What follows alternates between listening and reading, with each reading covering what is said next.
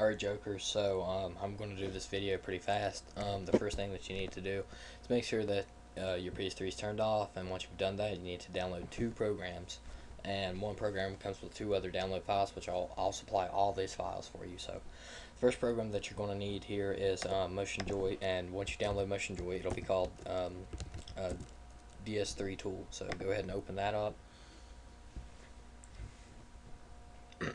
It'll say wait for controllers to be connected.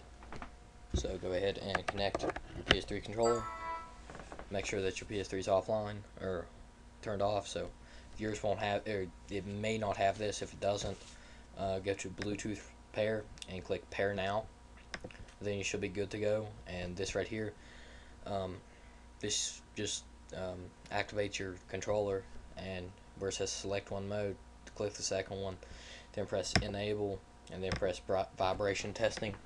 It should vibrate. If it doesn't, you mess something up and you'll have to do it again. So once you're done with that program, just minimize it. And the next one, next program that you'll need is Xpadder 5.7. And when you open this, you won't have this yet. So just go ahead and click this button right here. Click Open, All, then COD 4, which is the download file that I'll give you.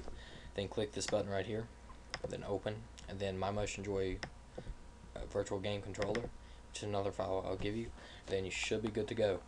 All these controllers, or all the, the your control, my controller's moving me right now, so it's good to go. Um, uh, the only bad thing about this is R2 and L2 doesn't work, so this has been a tutorial about the Forever Damned. Thanks for watching.